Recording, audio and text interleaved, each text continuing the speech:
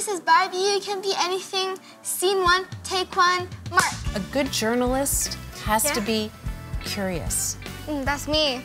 Right. I want you to really think about things that you want to know about me. Oh, that's a lot of things. The day where I can just ask everything I want. Anything.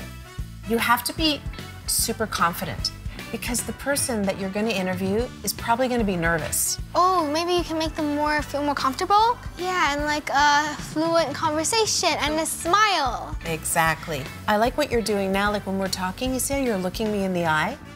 My mom told me that was essential. It is essential. And also, you have to shake their hand, and you know how to do. Yes, that's good. Here's the most important part ask a question that's interesting. That's important. It is important.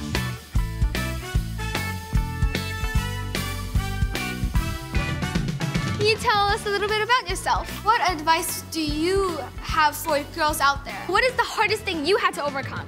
What advice would you give to your younger self? Did you have a very favorite Barbie when you were growing up? If you could have one superpower, what would it be?